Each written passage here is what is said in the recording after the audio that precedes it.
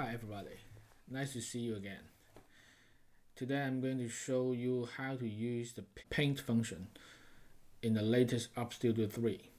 I'm going to use the Articulate Dragon model by McGybeer as an example to show you how I usually um, add additional colors to a more complex model.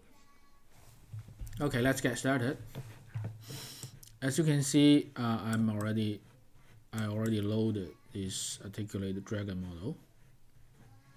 So my plan is to um, use a blue color as the main color for extruder 1 and a more transparent yellow as the second color for extruder 2 and I will try to use some of the uh, submodel features and see if we can obtain green I will first try to select some of those scales on uh, on the dragon.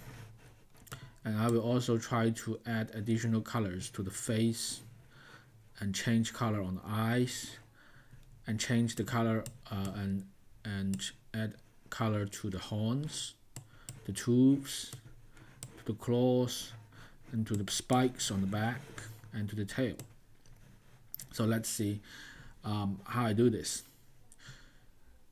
So first, um, we right click on the model and we will see a new option here in the latest Up Studio 3, the paint option. So select the paint option. So when you click paint, um, you will notice some of the differences. You know, most of the functional buttons on, on this menu uh, are grayed out so you are not able to click them.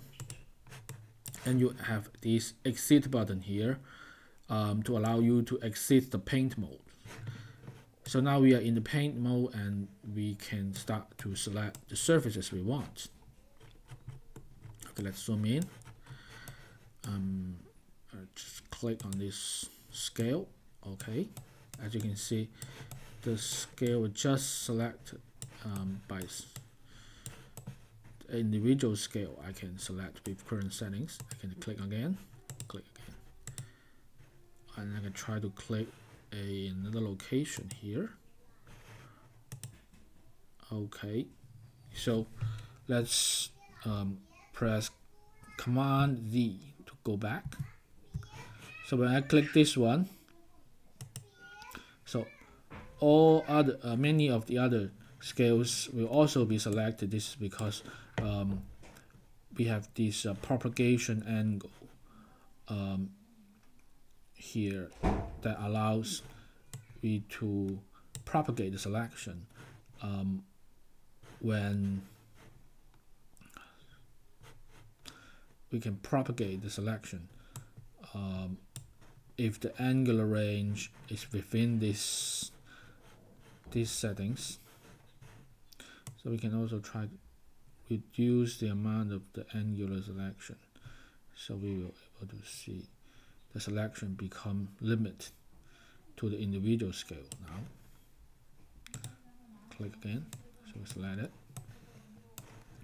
So by using this method uh, we can quickly select a lot of individual scales or if you don't want to select them you can press Command D to go back to the previous condition.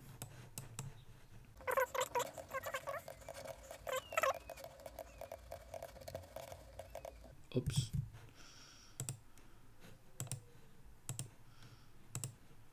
As you can see, it is actually quite convenient. So for the minus, the minus range is for selecting um, concave features. We can say that. And for the positive values is for selecting more protruding or convex features. So with these two values the combination of these two values uh, we will able to uh, fine-tune the um, fine-tune the amount of selections okay.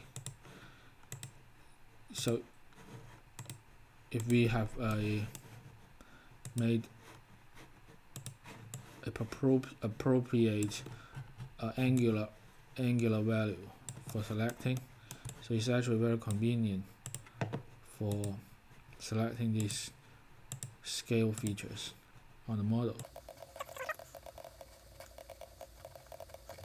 Okay so if you would like to use the cursor as a as a paintbrush um, to select a very refined area. So you can also press shift press shift and left click. You can see that you are now selecting we are now selecting a a refined area that is working like a paintbrush. Okay? But we also um, paint some of the areas which are not intended. So I'm going to press option or alter in Windows. Press option key and press and hold and then left click on the mouse then the cursor will become an eraser so that we can deselect the, the faces that we don't want to select. So this is for fine-tuning the selection.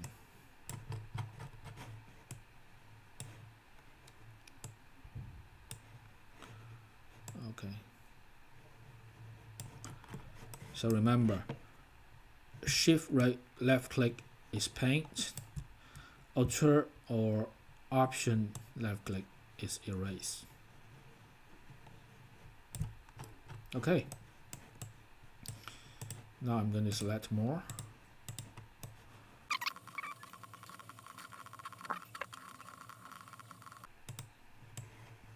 All right. So now we have selected enough of the scales. And then I we will also try to add more selection on the face the dragon's face. So as I said press shift and left click to select some of the facial features such as this eyebrow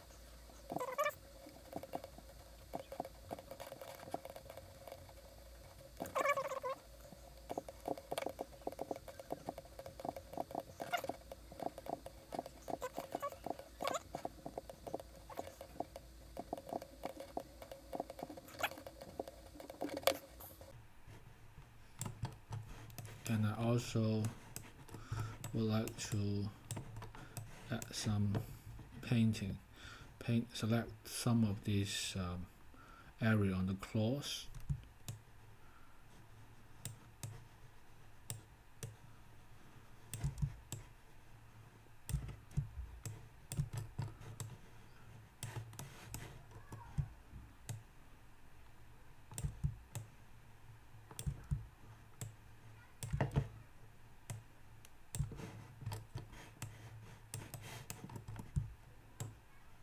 by by holding the shift and left click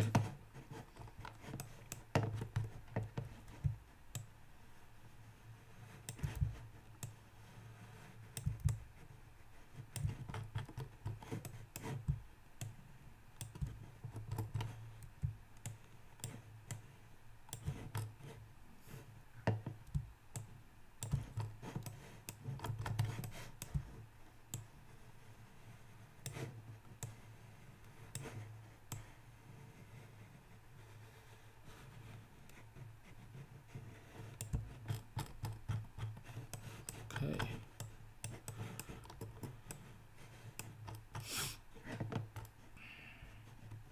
okay the next step so after we we select all the services we we want for this part so we let uh, right click on the model again so we bring up this menu um, we have some options here so we select first one, the separate. That means we convert the services into a submodel with separate mode.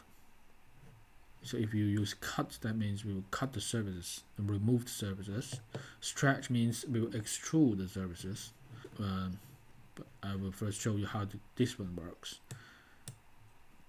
Uh, when we select separate, then we will need to select a depth value. So in this case, I'm not going to select too um, too much of that. So maybe one millimeter. Okay, it looks um, looks okay. There's no significant defects we can observe. And then we go exit the paint mode. And we can see that these um, surfaces were selected and converted into a submodel. And we can see these pink areas this submodel. And it is um, under separate mode. Now we are going to select to change the separate into surface. So as you can see, this is separate. That means we cut a chunk of the model and convert it into a separate model. But actually we are using, we are going to use the surface mode, which means we're only going to change the perimeter. Okay. Now, surface mode and then let's try to slice and see what happens. So as we can see that um, the submodel will represent in a different color.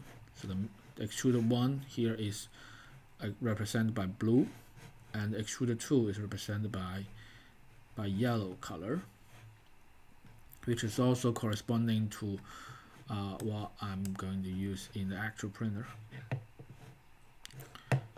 And if we use a cross-sectional view we can see that since we are using the surface mode only the perimeters are being printed are being printed by by the second extruder so the inside is still blue but outside is yellow. So in this setup um, since the yellow filament is a little bit of transparent so the blue color will still um, going through the yellow.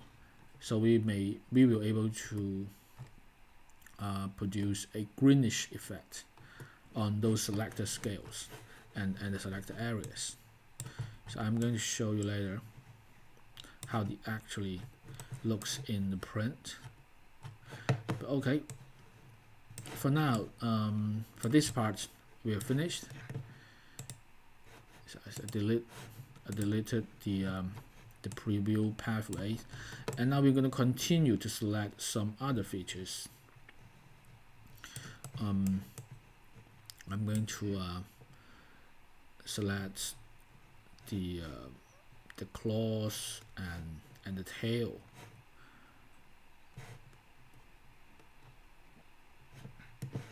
Okay. So still we can use the paint mode first select the main model select paint. And then this time I'm to just click on the click on the claws.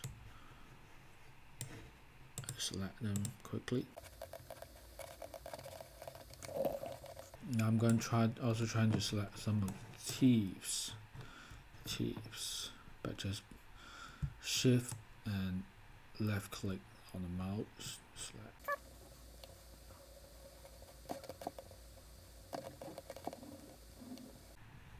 And then refine the selection by erasing some of those unwanted faces alright so this part is finished. So we select the claws the tail and the tips and now we are going to convert them again using the separate and still use a smaller depth. Okay let's check. Looks good. Still no defects. So a little bit of defects here which is not selected but mostly okay let's do a slide see what happens. Oh we have to exit the paint mode first. And then we just keep keep the latest selection as separate as they will be print as separate and in a solid color which is different from the surface mode. They are supposed to be yellow uh, solid yellow in the final print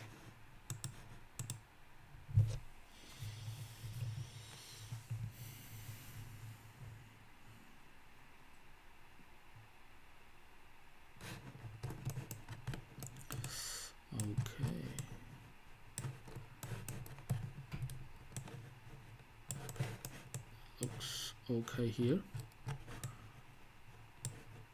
Tips seems to be good. The tail. Is okay.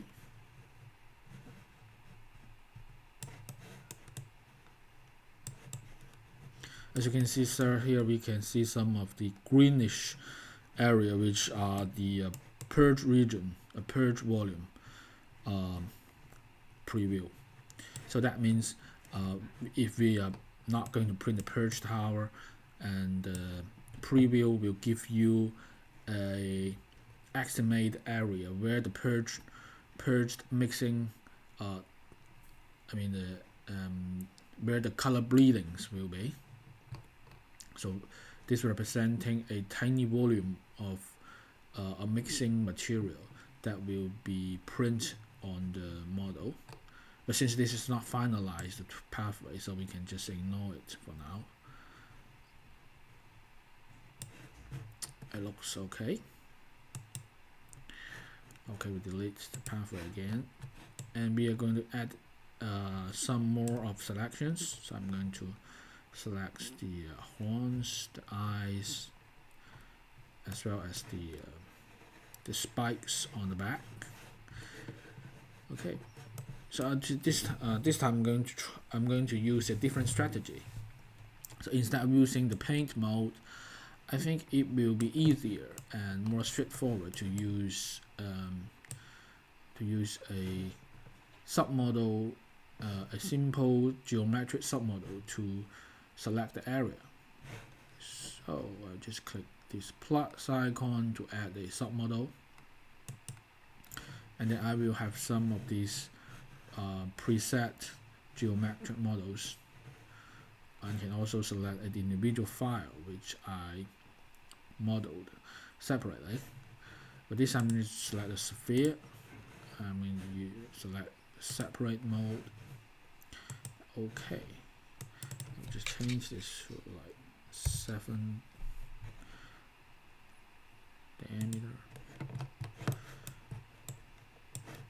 Now now I have this sphere here. Let's move it to the to the eyes of the of the dragon.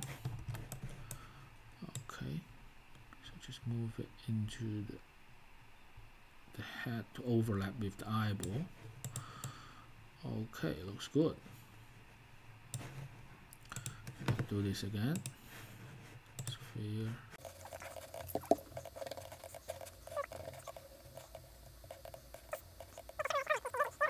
Okay, looks great.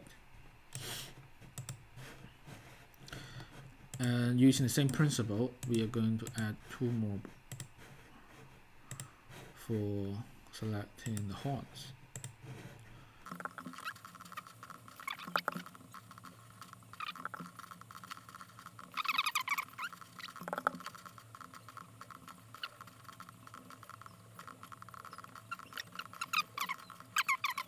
the um, the spikes on the back to make them also to print with a solid yellow color. So instead I'm just trying to use a, a cube to cover a large flat cube to cover the, the spikes I can use this 20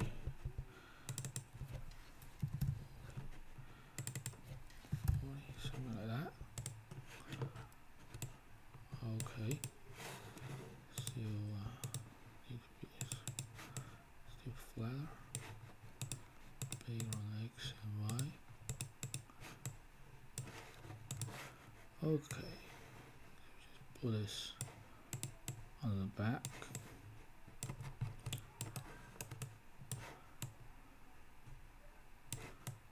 Just make sure it is covering the spikes we want.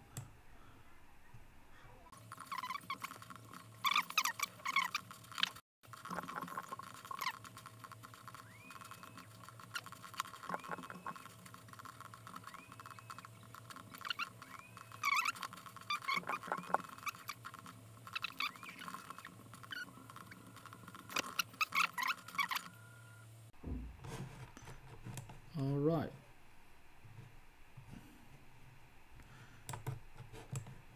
Now we can see we have this dragon uh, print in different colors. Um, although we can only see um, blue and yellow here, but I actually expect the scales to be green and then the spikes are also completely printed by yellow and then we will see the tail is also solid yellow almost solid yellow. But the scales only have yellow color on the surfaces. The claw we have um, the outside section the section that facing outside print by yellow but there's some still some of blue in the inside okay. So we see this eyeball. See the eyeball inside inside the dragon.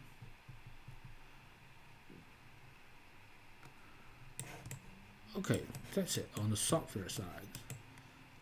Let's show you how it prints